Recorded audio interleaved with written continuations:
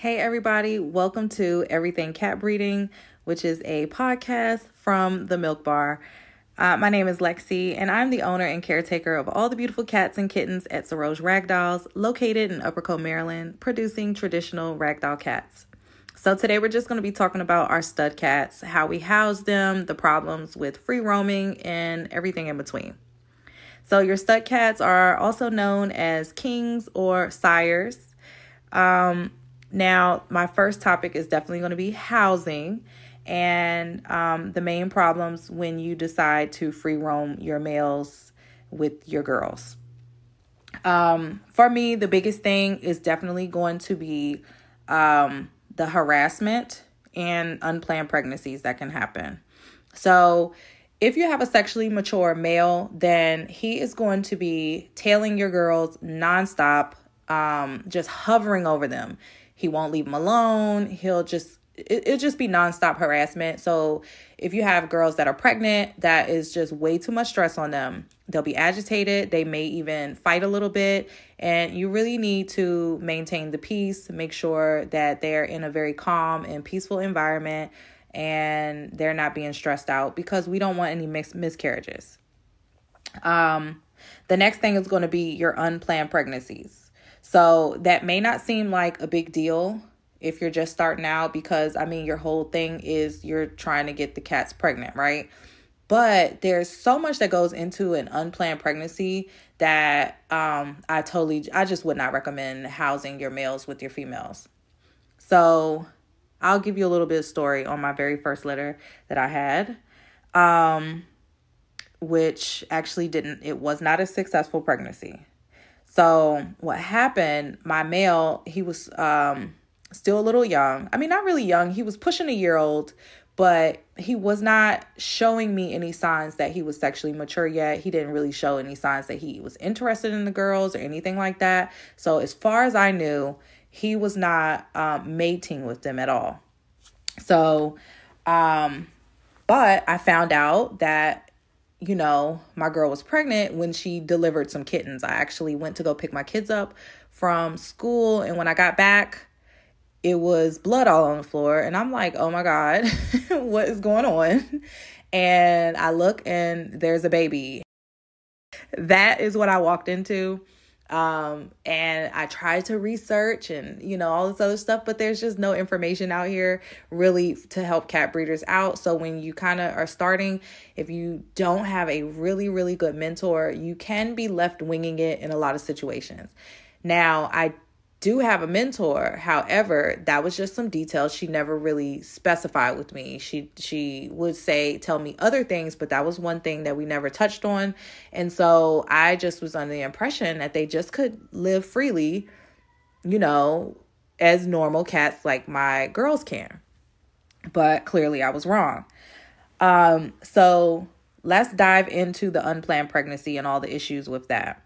Um I know on Google, you can read about the whole pinking up thing, which is when your girls are showing signs of being pregnant, their nipples uh, start turning pink. They, as they progress in their pregnancy, they will get larger and pinker, you know. But the problem with that is one, it's a range of days. So it can be anywhere from, say, 14 days to 21 days before they start pinking up. Um, the amount of pinkness can vary between cats and even just the same cat with pregnancies. So your the date that you think it is can be extra way off. It really can be way off. Um, which can lead to I mean, you could just have medical issues. If you don't know the exact date to expect your kittens, and yes, they can come a few days before, a few days after, but if you don't have a general idea, a rough idea of when your cats are due, how do you know when your cat is overdue and needs medical attention? How do you know that your cat is experiencing isn't experiencing preterm labor and could possibly have been taken to the vet to um, stop it? So just being a responsible breeder is also, you know, um, controlling the things that happen in your cattery.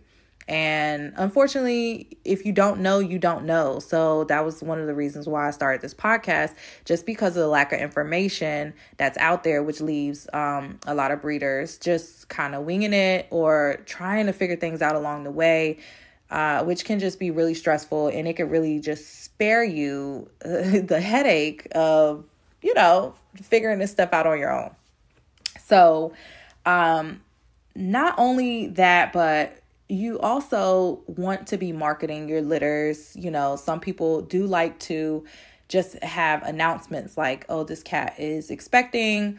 Um, and that just helps you secure kittens for that litter in advance, right? But from a customer standpoint, if my if the breeder that I want to get a cat from is saying, "Oh, my cat is supposed to have a litter um on May 1st, but then that cat doesn't have a litter for three weeks after that, now I have to wait even longer to receive my kitten um, than the expected take home day or pickup day, whatever you want to call it.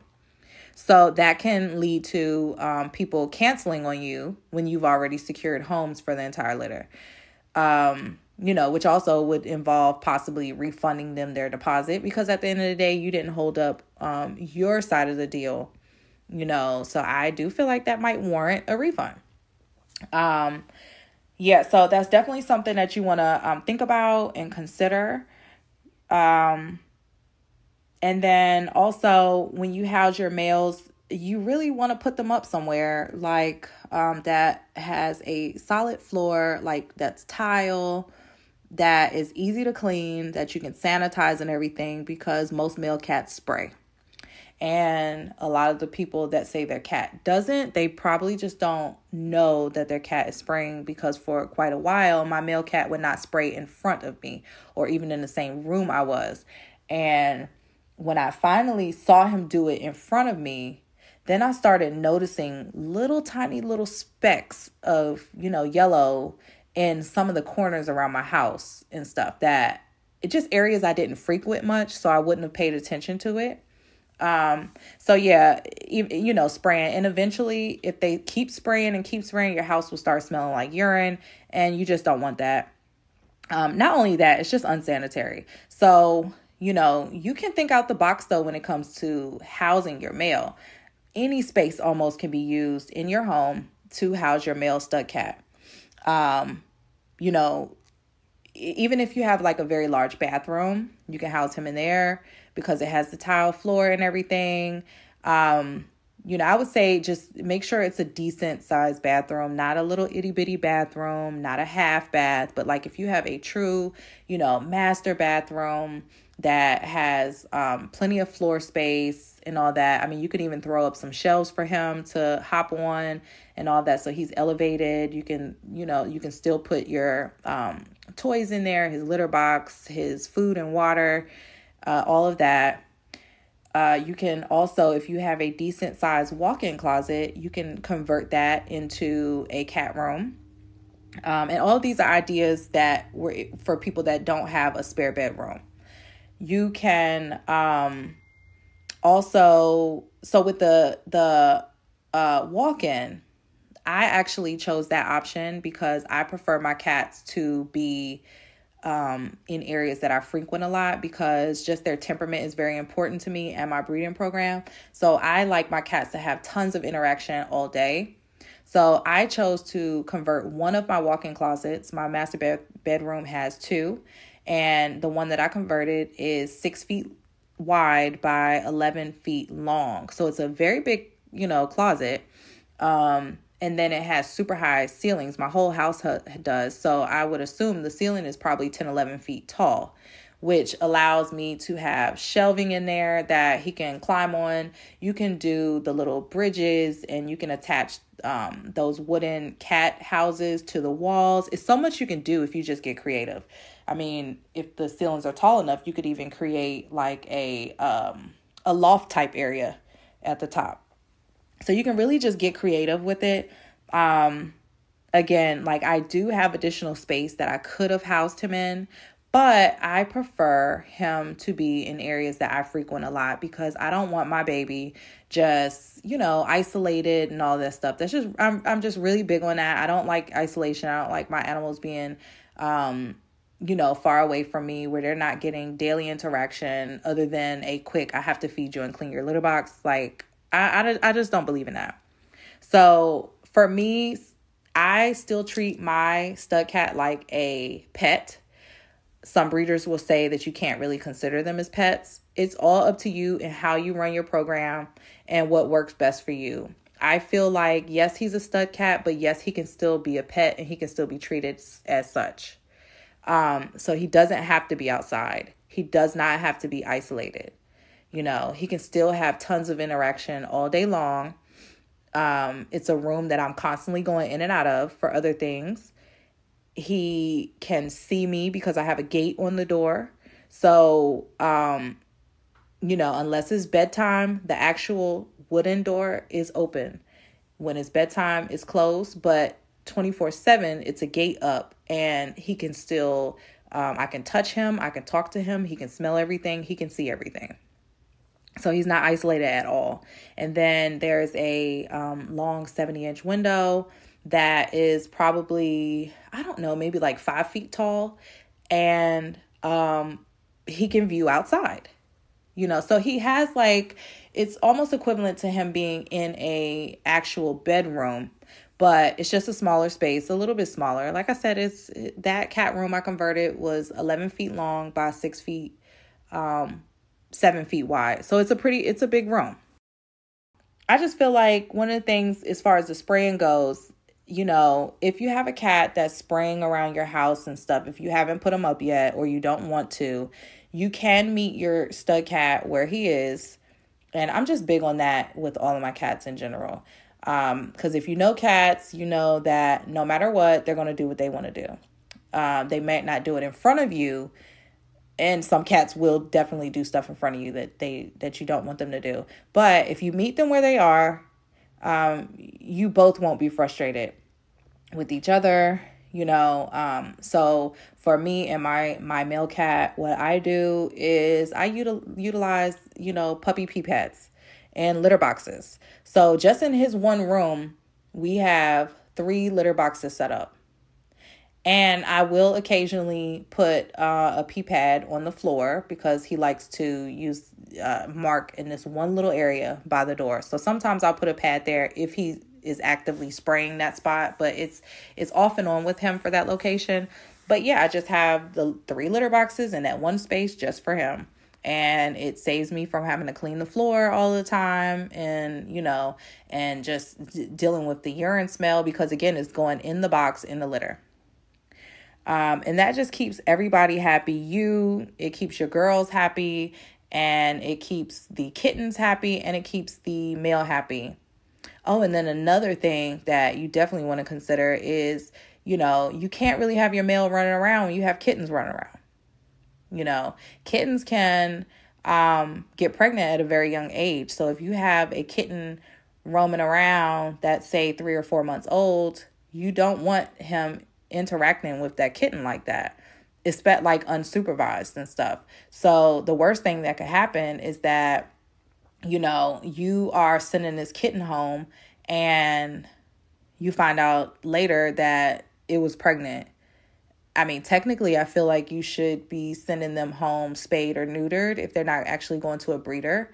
Um, but, you know, not everybody does that.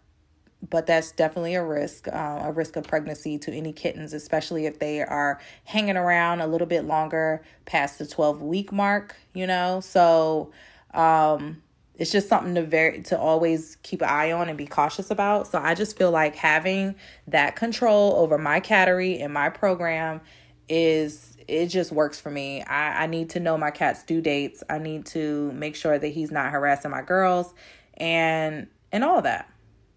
Um, and you can house your male cat outside too. Some people build a whole cat house with the uh, outside enclosure and they can go freely between inside and outside. But again, I'm just the type of person that likes my cats with me in my home and to have as much interaction as possible. I don't want to just be that person that goes out there for an hour just to clean their their, you know, enclosure and feed them and do their litter box. I want them to have as much interaction as he would um, being a house cat. So that's a lot to think about. You know, it's definitely something you want to think about before you get your cats. Um, I think some people are under the impression that they can just get girls and they don't have to have a male to, uh, so they don't have to deal with that type of stuff.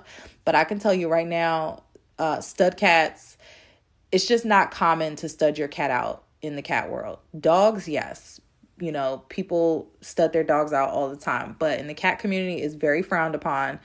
Um, there's a lot of risk.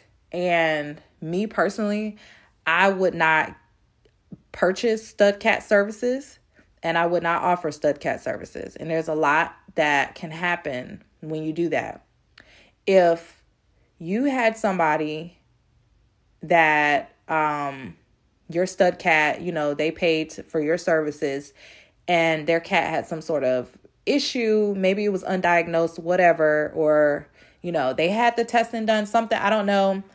But it's a lot that can go wrong. And I just feel like you're you're contaminating your whole cattery when you bringing in random cats um, for stud services and vice versa. If you send your girls out to somewhere uh, to a stud service, you're possibly contaminating your whole cattery with just bacteria, um, viruses and all type of stuff. So for me, it's not worth the risk.